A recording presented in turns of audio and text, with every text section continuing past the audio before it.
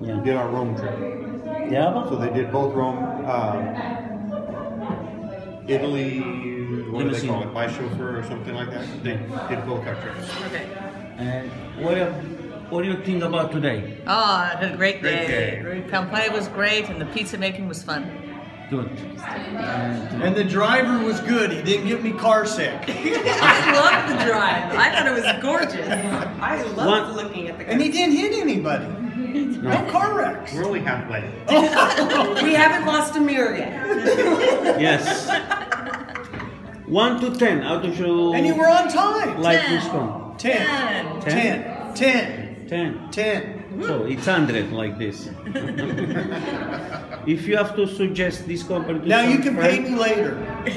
Yes, I I give you money later, okay? If you have to suggest company to some of your friend or somebody, you said yes or no? Thumbs up. Yes. Yes. Very likely. Grazie. and I hope to see you soon in Italy. Oh, Don't, yes. right. don't wait so long to coming back, okay? Okay. Okay. Thank you. Grazie. Happy New Year. Happy New Year.